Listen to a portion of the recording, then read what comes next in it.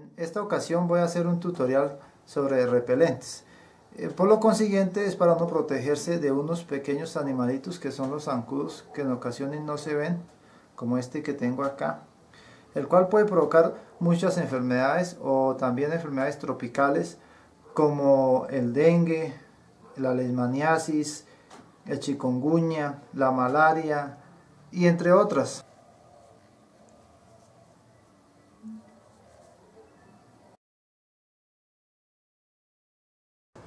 La primera recomendación cuando uno sale de caminata es llevar ropa que le proteja la mayor cantidad de piel, eh, camisa manga larga, que no tenga uno tanto la piel expuesta a los insectos. Y como segundo, pues llevar repelentes. Acá tengo tres de uso comercial. Tengo el primero que es un spray, eh, controla muy bien los zancudos. Este se recomienda para niños. La recomendación es que no tenga contacto con los ojos. Adicionalmente tengo dos series de jabones. Tengo el primero que es uno que lo conozco como no piques. Eh, su color es blanquito y este se humedece uno la piel y lo, lo va a frotar y crea como una película grasosa. Esto hace que los zancudos tampoco lo piquen o los insectos que lo quieran aún atacar. También está el otro para uso, digamos, diario cuando se está en la caminata, que es jabón de azufre. La recomendación de, este spray es aplicarlo cada tres horas. El, este jabón de azufre es eh, en el baño de la mañana o de la noche y este sí se recomienda aplicar una vez en la mañana y otra vez en la tarde. El siguiente repelente es uno mixto. Para él voy a utilizar alcohol, una pastilla de alcanfor, tabaco, ya sea la semilla o ya sea el tabaco como tal. En este caso tengo un habano cubano, se puede utilizar, entonces acá está, eh, conocido también como puro, voy a utilizar la semilla del tabaco o si es posible conseguir, también pueden utilizar la hoja del tabaco. Esta es la planta de tabaco, estas son sus hojas, estas son las semillas. Si no consiguen ya sea el habano o el tabaco natural, pueden utilizar la parte del cigarrillo sin ir a echarle a la mezcla el filtro del cigarrillo. Y voy a utilizar en esta botellita, la voy a roturar primero, eh, voy a colocar, esto lo conozco como repelente del indio amazónico. Pues es importante marcar ya que este frasco no tiene rótulo y así uno sabe qué lleva en la maleta. Destapo la pastillita y la agrego al frasco. Es de color blanco. La agrego al frasco y ahora voy a agregar unas hojas de tabaco y adicionalmente agrego unas cuantas semillas. Este repelente se aconseja aplicarlo cada tres horas. Ya estando así, eh, procedo a agregar el alcohol. Tapo muy bien el frasquito y lo agito hasta que uno vea que se disuelve todo.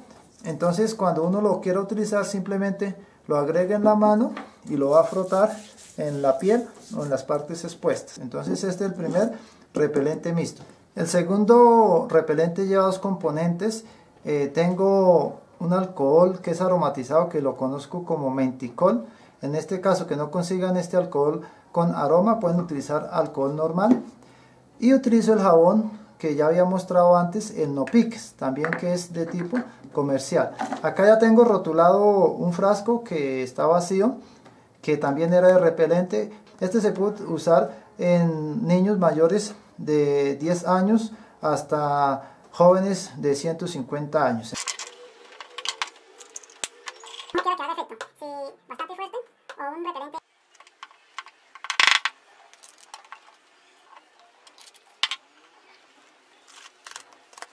Ya hice la mezcla, esto tardará cerca de una hora en disolverse bien. Lo hago en spray para practicidad en la aplicación. Entonces, este es el segundo repelente.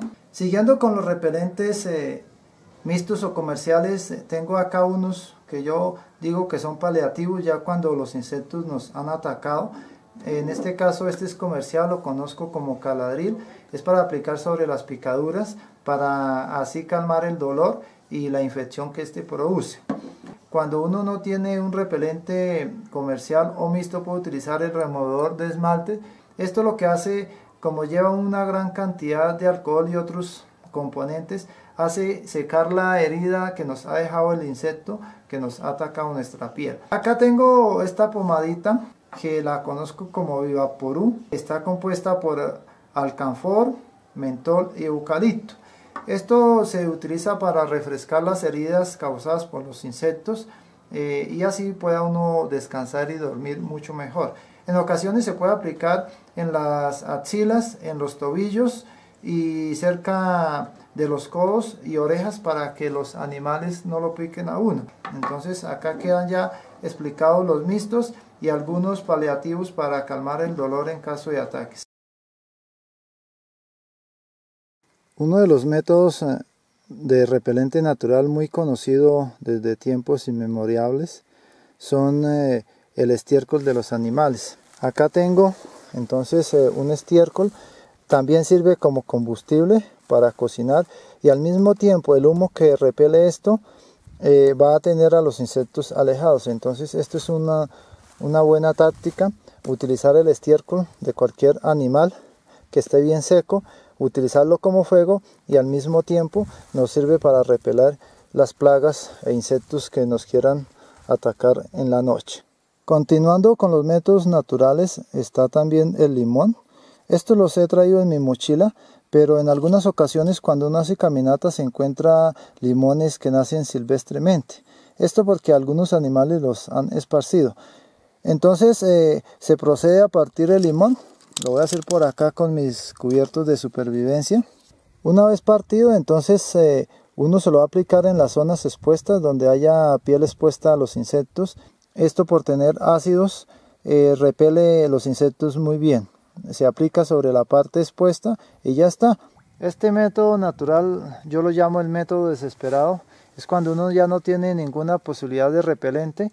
Entonces busca uno una fuente de agua eh, consigue algo de tierra y lodo, como este pedazo, lo frota uno y se lo va a untar en las partes expuestas, tanto manos, brazos, cara, y así los insectos eh, se repelen un poco, no lo van a picar a uno tanto.